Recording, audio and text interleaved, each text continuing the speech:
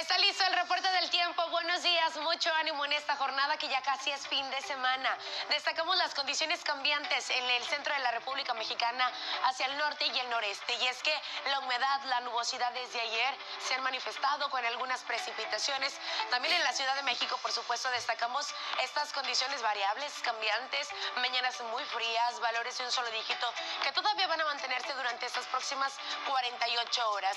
A lo largo de esta jornada hablamos de precipitaciones especialmente durante esta mañana. Aunque lluvia ocasional, hay que estar listos al momento de salir de casa. El cielo nublado es lo que se espera, el ambiente frío ya por la tarde fresco, alcanzando 18 grados con el cielo mayormente nublado. La probabilidad de lluvia en un 20% y por la noche 11 grados, parcialmente nublado. Vuelve a bajar la temperatura al finalizar la jornada y siguen las condiciones cambiantes.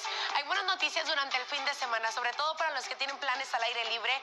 Viernes, sábado y domingo, cielo soleado a parcialmente soleado, 6 a 8 grados como valor inicial, tiempo frío por la tarde 23 a 25 grados, templado, agradable y ya no hay pronóstico de precipitación.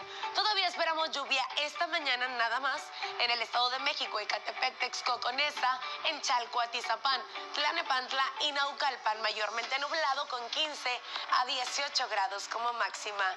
Son los detalles del tiempo. Continuamos con